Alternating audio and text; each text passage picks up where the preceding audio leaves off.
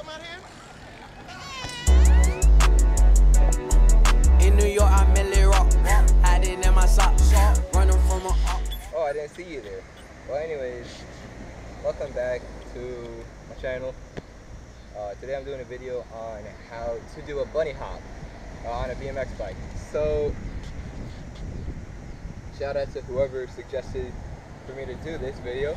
So, let's just get straight into it because I recorded this before and it took like seven minutes. Let's try to cut this down to like three minutes. All right. So, understanding what a bunny hop is. So to actually do a bunny hop, you need to know what a bunny hop is. So a bunny hop is when you jump up in the air. Like you see, if you've watched any edits or anything BMX related, you've seen a bunny hop before. It's just jumping up with your bike. So to do this, up your tire, your front tire, your bars, and then you scoop the pedals. So your pedals should be scooped like this and you lift up your front tire and then you jump up holding the bike so the bike goes up and then you push your bars forward. When you do this, it should level out and you should be doing a bunny hop like guess. So let me just show you what a bunny hop should look like.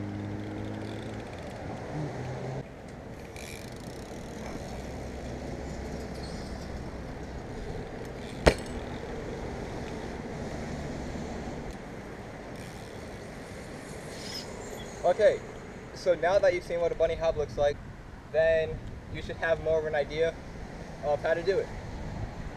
So I'm to replay that clip in slow motion and show you what I mean.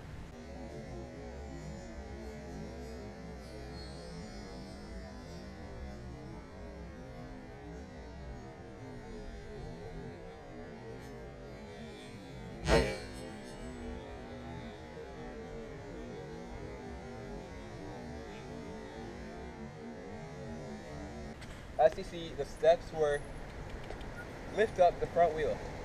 So you're gonna hold onto the bars nice and tight. Squat down so you get energy, and then jump up while you scoop the pedals. So the pedals are gonna be scooped like this. Lift up the front tire, and once you do that, then you're going to bring it to your waist. So it should be right about up here for a higher hop. It depends however high you want your hops to be, it depends on the, the how high you lift your front tire up. So once you've done that, when your tire's in the air, you're going to push forward. So you're going to push forward with your bars and then jump up pretty much so that your back tire gets lifted into the air. Now, once you do this, you want to land with your back tire or both tires on the ground because if you land with your with your front tire first, it can it can mess up your wrists. So let me show you again how that looks in the form.